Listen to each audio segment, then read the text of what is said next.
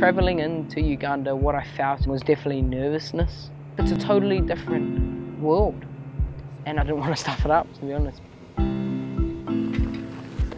We met three young children who had fled by themselves with no parents from the war in South Sudan.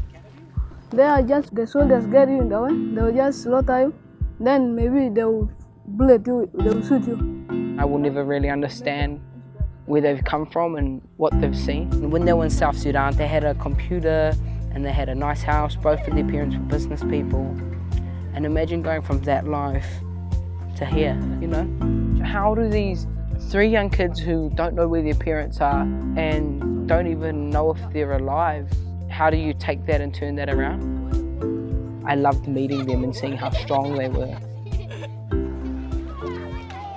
And then we went to the, the children's kind of safe area where all the children kind of play and have fun and that was amazing. All these young kids, like they're so happy. Like how do you, like literally, it amazed me. I was like, all these kids are hugging me and I'm dancing with them and they're so happy. World Vision in Uganda welcomed them in and they've given them a loving space and the basics like water and food and a, and a roof over your head. We also met Harriet. She's a young woman who's just started her own business, a salon at the World Vision team. She kind of did this training course that they provide. It doesn't look like a lot, but like she's really proud of her salon. These people are trying to make a life here and they need these skills and they need money to, to create a life because you can't live on food rations your whole life. That's so cool that little New Zealand can make such a big impact for so many people halfway across the world.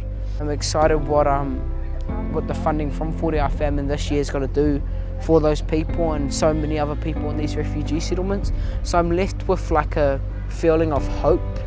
Thank you, New Zealand. Bye. Yeah, I am one with nature. I don't know if you guys are laughing at me. No, you guys are laughing at me. Yeah. Definitely laughing at me.